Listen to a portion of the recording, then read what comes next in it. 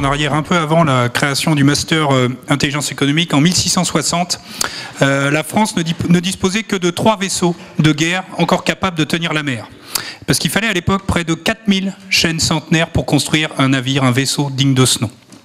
Et ce bois était importé d'Italie et d'Europe du Nord, ce qui rendait la puissance militaire de la France dépendante de la sécurité de ce qu'on appelait la route des bois. Colbert, face à cette situation, décide d'engager une vraie politique forestière et, par l'ordonnance d'août 1669, crée la gestion de la forêt en France. Au début du XVIIIe siècle, 30 ans après, la flotte française est redevenue la deuxième du monde et 350 ans plus tard, aujourd'hui, le domaine forestier français est le plus grand d'Europe et un des plus grands du monde. Un bel exemple d'une vision de long terme.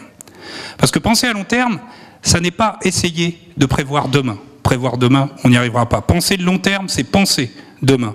Le long terme, ce n'est pas une succession de court terme. Le long terme, c'est ce qui nous permet de poser un cadre pour faire face aux chocs futurs, pour faire face aux banques en quasi-faillite, aux fermetures d'usines ou aux pays émergents qui ne le sont d'ailleurs déjà presque plus. Penser de long terme, ce n'est pas chercher à éviter demain. Penser de long terme, c'est se donner les moyens de mieux le gérer. C'est par exemple investir dans la recherche de nouveaux antibiotiques. C'est ouvrir de nouvelles voies, même si certaines se révéleront être des impasses. Les économistes, de leur côté, ont plutôt travaillé sur le court-termisme. Sous la pression des marchés, les marchés financiers, les entreprises renonceraient à investir et, obsédées par le culte de la performance et des résultats trimestriels, verseraient des dividendes beaucoup trop élevés pour satisfaire des actionnaires avides, sacrifiant les investissements de long terme au profit d'une rémunération immédiate. Paradoxalement, quelques grandes entreprises très en vue aujourd'hui ne suivent absolument pas ce schéma. Steve Jobs, par exemple, a toujours refusé de verser des dividendes. Et visiblement, Apple a aussi des problèmes avec ses impôts.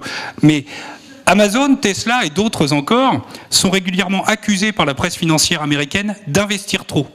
D'investir trop. De sacrifier leurs marges pour développer leur activité et leurs infrastructures. On peut penser ce qu'on veut de ces grandes entreprises. Mais une chose est sûre, on ne peut pas leur reprocher de manquer d'une vision stratégique, ni de tout miser sur cette vision. Il y a 100 ans, les grands capitaines d'industrie comme Ford, par exemple, développaient des voitures abordables. Mais ces voitures, sans route, ne servent à rien. Et c'est bien la puissance publique qui a construit les routes pour ces voitures. C'est bien la puissance publique qui, à l'époque, a développé les infrastructures énergétiques. Alors qu'aujourd'hui, ce sont, en partie en tout cas, ces grandes entreprises qui investissent dans les grands centres de données ou qui bâtissent des réseaux de bornes de recharge électrique en Europe et en Amérique du Nord. Et il y a cinq jours, Elon Musk, le fondateur de Tesla et de PayPal, annonçait même son plan à horizon d'un siècle pour envoyer une mission habitée sur Mars. Il y a 50 ans, Rêver d'envoyer un homme sur la Lune, c'était le rêve d'un chef d'État. Aujourd'hui, c'est celui d'un chef d'entreprise. Depuis 2008, en France, la part des dépenses publiques par rapport au PIB français a augmenté. Elle a progressé de 5 points. Par contre, la part des investissements publics, elle, a baissé. La France dépense plus, mais elle dépense moins pour demain. Penser le long terme, c'est prôner la patience contre l'impatience. C'est accepter l'impopularité. C'est prendre le risque de perdre de l'argent, voire même de perdre des élections.